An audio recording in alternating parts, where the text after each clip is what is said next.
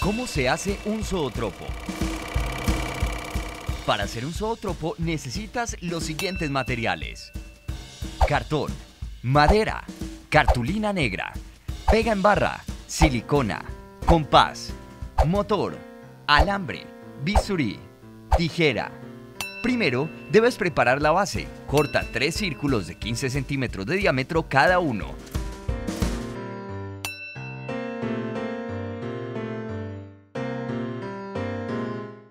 Un círculo de cartón y dos de cartulina negra.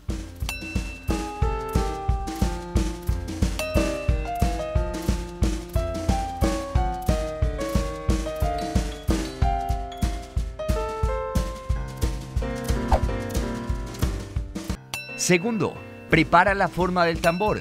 Corta dos tiras de cartulina de 14 centímetros de ancho y 49 centímetros cada una. A cada uno de esos trozos de cartulina, hazle pequeñas pestañas con cortes de 2 centímetros para luego hacerle triángulos con cortes transversales de esquina a esquina. Tercero, para ubicar las ventanas, marca un espacio de 5.5 centímetros a lo largo de la tira, dejando una margen de 1.5 centímetros en el borde de la cartulina. Señala las ventanas de manera vertical con un ancho de 5 milímetros cada una. Luego de marcar las líneas de las ventanas, córtalas con el bisturí.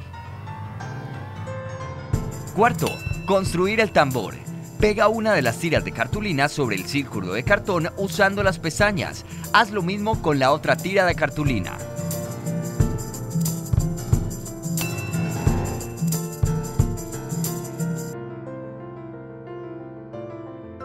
Quinto, pega el motor y unirlo a la base de madera.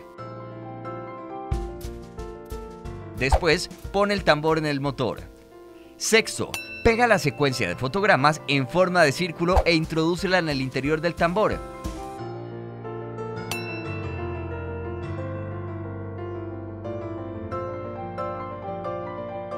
Ya está listo tu zootropo. Usa cuantas secuencias quieras.